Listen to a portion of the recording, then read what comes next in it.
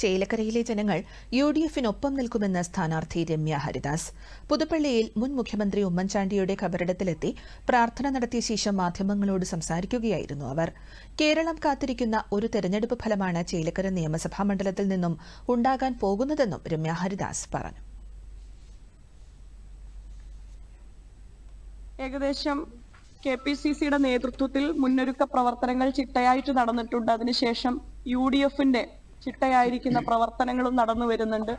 തെരഞ്ഞെടുപ്പ് പ്രചരണങ്ങൾ ഇരുപത്തി ഒന്നാം തീയതി തെരഞ്ഞെടുപ്പ് കൺവെൻഷനോടുകൂടി ആരംഭിക്കുകയാണ്. ഇരുപത്തി മൂന്നാം തീയതി നോമിനേഷൻ സമർപ്പിച്ചുകൊണ്ട് തെരഞ്ഞെടുപ്പ് പ്രവർത്തനങ്ങൾ വളരെ ചിട്ടയായിരുന്ന രീതിയിൽ യു ഡി എഫ് അണിയിച്ചൊരുക്കിയിട്ടുണ്ട്.